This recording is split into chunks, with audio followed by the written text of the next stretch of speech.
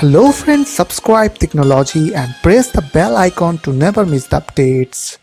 Hey what's up guys welcome back to our channel Tricknology. So today in this video I'm going to show you guys how to fix access denied problem in your Windows 10 user account. So you just need to follow me and don't forget to subscribe my channel Tricknology.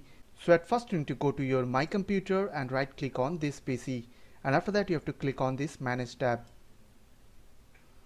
After that you will get this computer management window. So you have to expand this local user and groups on the left side corner.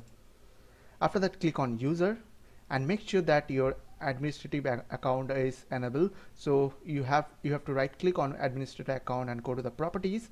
And after that uncheck this option is called account is disable so to uncheck this option and after that click on apply and then ok so now you have to go to the groups option from the left side corner and after that double click on administrator account. Now click on add and after that you have to put your username over there. In my case it is technology 1 and after that click on check names. After that click on ok and then click on apply and then ok.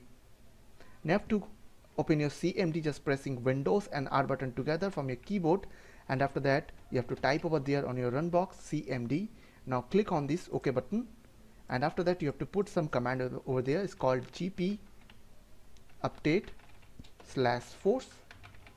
And after that click on enter.